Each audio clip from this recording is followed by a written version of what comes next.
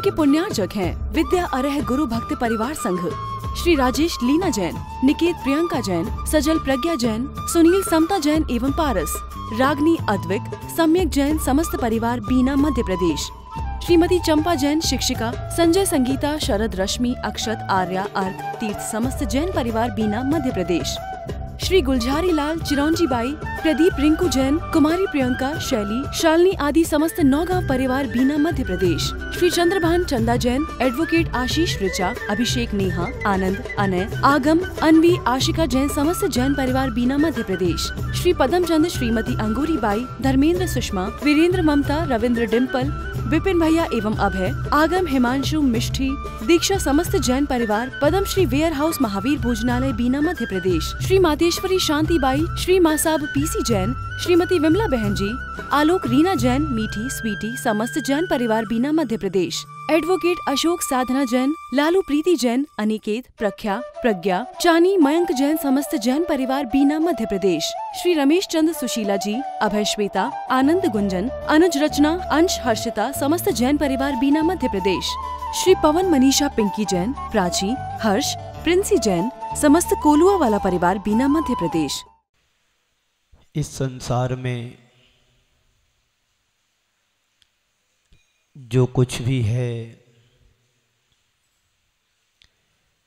वह सब नासवान है। सब कुछ क्षण भंगुर है। यह संसार ही परिवर्तनशील है। इस संसार में कुछ भी स्थिर नहीं है। ऐसी अस्थिरता भरे संसार में हम आखिर सहारा किसके, किसका लें? आप लोग सोचते हैं हमने बहुत सारा इंतज़ाम कर लिया। हमने बहुत सारी व्यवस्था बना ली।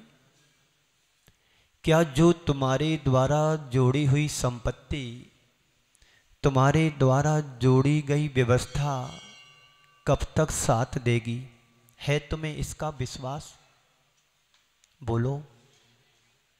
जो हमने संसार में जोड़ा है, बड़े अरमानों से तुमने सुंदर सा घर बनाया। क्या घर तुम्हारा साथ देने वाला है? चाहे कर भी वो घर तुम्हारा साथ नहीं दे सकता है। फिर हमें संसार में शरण किसकी लें? जिसकी शरण हमें लेना चाहिए, उसकी तरफ़ हमारा ध्यान नहीं जाता है। और जिसकी शरण मुझे नहीं लेना चाहिए, उसकी तरफ़ हम रात दिन उसकी व्यवस्था में पागल बने घूम रहे। बोलो, बात सच है कि नहीं? कौन हमारा संसार में सहारा है? है कोई सहारा तुम्हारा? बोलो। पिताजी कहते हैं, हमारा बालक हमको वृद्ध अवस्था में सहारा बनेंगे। पर मैं आपसे पूछना चाहता हूँ कि तुम वृद्ध अवस्था देख पाओगे कि नहीं? ये कोई ज़रूरी है? अरे, एक पल की भी हमारे पास, एक पल का भी हमें कोई भरोसा नहीं कि वृद्ध तो कहाँ पर देखोगे। फिर किसकी शरण में जाएँ? कहाँ जाना है बोलो। महाराज श्री अभी यहाँ से छूटेंगे, घर जाएँगे, नाश्ता करेंगे, कुछ काम को देखेंगे, चाबी लेकर के दुकान जाएँगे, दुकान पर नौकर को ढूंढेंगे, ग्राहक को देखेंगे। ये तुम्हारे शरण नहीं है, ये तो संसार में आशरण है। आज हमें बात करना है अशरण भावना की। इस संसार में कोई भी तुम्हारा शरण नहीं है, ये तय मान करके चलना। किसकी शरण में जाए जो तुम्हें सुरक्षा दे सके, जो तुम्हें संरक्षण दे सके, जो तुम्हारी व्यवस्था को वास्तव में शाश्वत बना सके? संत कहते इसका, यदि हम गहराई से विचार किया जाए तो संसार में कहीं पर भी सुरक्षा नहीं है। कहीं पर भी संरक्षण नहीं है। कोई भी शरण नहीं है, कोई भी साथ नहीं है। संसार की हर वस्तु और संसार का हर व्यक्ति अपने आप में अनित्य है, असहाय है। तुम्हारा इस बात पर विश्वास? बोलो। कौन है तुम्हारा शरण?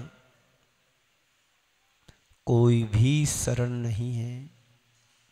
यदि हमारा संसार में शरण है तो एकमात्र हमारी अपनी आत्मा ही है।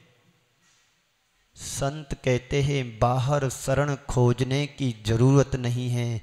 तुम जितना भी बाहर भागोगे, वहाँ पर तुम्हें कहीं पर भी शरण मिलने वाली नहीं है। तो फिर शरण है कहाँ? अपनी आत्मा में आत्म केंद्रित होने की ज़रूरत है।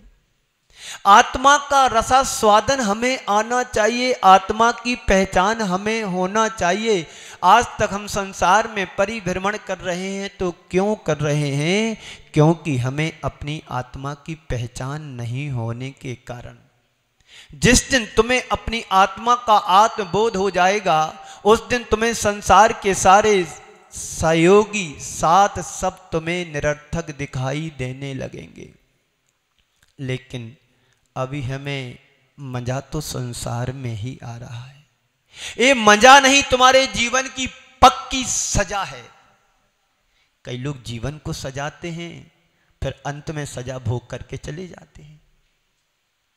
कोई व्यक्ति अपराध करता है, उसको सजा मिलती है। कोई व्यक्ति अच्छे कार्य करता उसको सजा दिया जाता है। दोनों में अंतर है।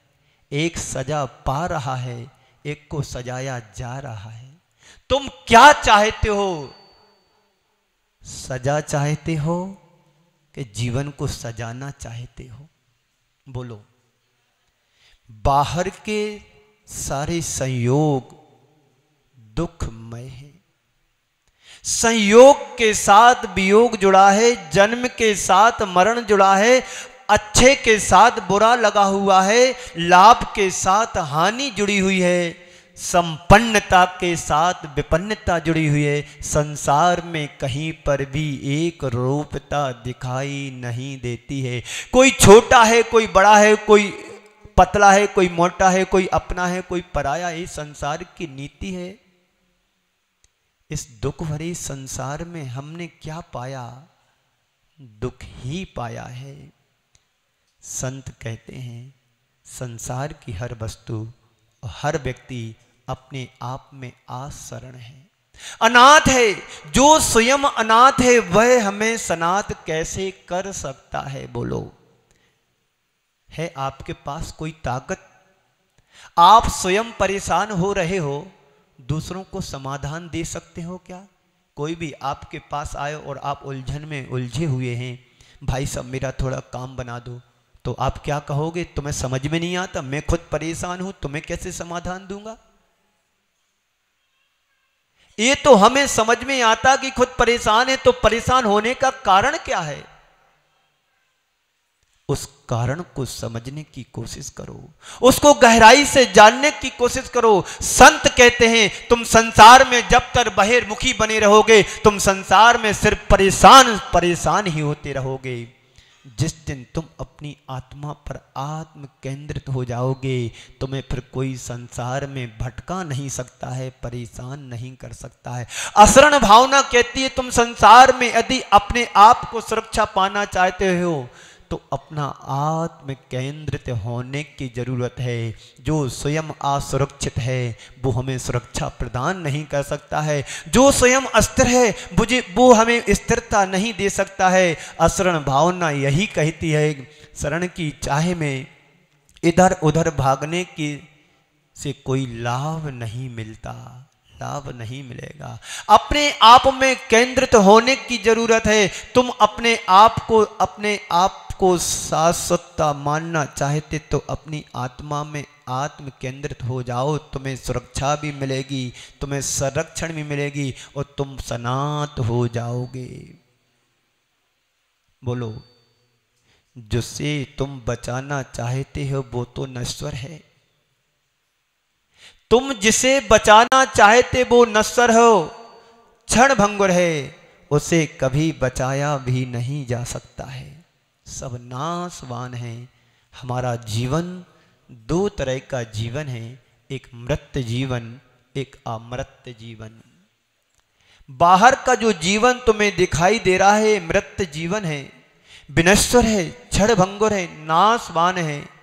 इसे हम बचाने की जितनी भी कोशिश करें, इसे बचाया नहीं जा सकता है। इसे संभालने का हम कितना भी प्रयास करें, इसे संभाला नहीं जा सकता है। इसका स्वरूप ही ऐसा है। यह उत्पन्न होता है, विनष्ट होता है, उत्पन्न होता है, विनष्ट होता है, नष्ट होता है, आता है और चला जाता है। मर्त करते ही, कहते ही उसे हैं जो हर रोज मर रहा है। रोज ही नहीं, पल पल हमारी मृत्यु हो रही है। एक एक श्वास हमारी, हमारे से अलग हो रही है। इसी को कहते हैं मृत जीवन। जगत में जो कुछ भी तुम्हें दिखाई दे रहा है, वह सब मर्त है, अमर्त कुछ भी नहीं है। बाहर तुम जो कुछ देख रहे हो, ये सब विध्वंसी है, नाश होने वाला है, उसे हम बचा नहीं सकते हैं। और जो भीतर का हमारा जीवन है, वो अमृत है। उसे कोई मार नहीं सकता है। संत कहते हैं, व्यक्ति को कोई मृत्यु से बचा नहीं सकता है। बचाने की कोशिश तुम कितनी भी कर लेना, मृत्यु से कभी व्यक्ति को बचा नहीं सकते हैं। हाँ इतना अवश्य है, मृत्यु के डर से हम बच सकते हैं। संत कहते हैं, जो मरने वाला है, उसे बचाने की तुम कितनी भी कोशिश करो उसे बचा नहीं सकते हैं और जो बचाने योग्य है, उसकी तरफ़ तुम्हारा ध्यान भी नहीं है। असरण भावना हमें कुल यही प्रेरणा देती है जगत में जितने भी पदार्थ हैं, सब पदार्थ कैसे हैं? नाशवान हैं। आपने जब घर बनाया था, घर का कैसा लगता था? बहुत सुंदर लगता था। और पचास साल बाद, साठ साल बाद घर की हालत कैसी हो जाती है? बिगड़ जाती है। जब आपका जन्म हुआ था, जब आप युवा थे, तब आपकी ताकत कितनी थी? और आज सत्तर, पचहत्तर साल को पार कर रहे हैं, आपकी ताकत क्या उतनी ही है? यही जीवन हमारा मर्त जीवन है। हर पल हमारी एक एक पर्याय मृत्यु को प्राप्त हो रही हैं। एक एक श्वास हमारी मृत्यु को प्राप्त हो रही हैं। लेकिन संत कहते जो तुम्हारी आत्मा है, इसको ना कोई मार सकता है, ना इसको कोई गला सकता है। ये तो अजर अमर अविनाशी आत्म तत्व है। है तुम्हारे पास इसकी पहचान? बोलो। नहीं है ना? जब इसकी पहचान नहीं है तो ही इसलिए तो हम संसार में जो बचने योग्य नहीं है उसको बचाने की हम कोशिश करते हैं। पर संत कहते हैं इसे कोई बचा भी नहीं सकता है। ना अम, माया अमर है ना काया अमर है ना दौलत अमर है ना शोहरत अमर है ये सब नासवान है क्षण भंगुर है। असरण भावना कहती है, संसार के बाह्य संयोग जितने भी हैं, उनमें शरण ढूंढना वैसा है जैसे कोई व्यक्ति जलते हुए बाँस के नीचे जाए और छाया मांगे, उसे तुम क्या कहोगे? बोलो, मूर्ख कहोगे। संसार के संयोगों में शरण ढूंढना वैसा ही जैसे कोई जलते हुए बाँस के नीचे जाए और एक कहे कि मुझे छाया मिल जाए, शीतल छाया मांगे, बाँस के जलते हुए पेड़ के नीचे कभी किसी को शीतल छाया मिली? बोलो। शीतलता की अनुभूति भी नहीं होगी। जो खुद जल रहा हो, वो दूसरों को शीतलता कैसे प्रदान कर सकता है? जो स्वयं मर रहा हो, दूसरों को कैसे बचा सकता है? जो स्वयं असुरक्षित हो, सुरक्षित हो, दूसरों को सुरक्षा कैसे प्रदान कर सकता है? जो स्वयं भंगुर हो, जो दूसरों को कैसे शासक बना सकता है? इस सत्य की प्रतीति ही असरण भावना का मूल उद्देश्य है। जिस क्षण तुम्हें इस असरण भावना की प्रतीति होने लगेगी, संसार में फिर तुम ज़्यादा देर नहीं टिकोगे। तुम कहोगे ये संसार तो नासवान है, क्षण भंगुर है, क्षण छही है, इस संसार में मुझे अब रहना ही नहीं है। क्यों? क्योंकि हमारा जीवन ही मरण की ओर जा रहा है।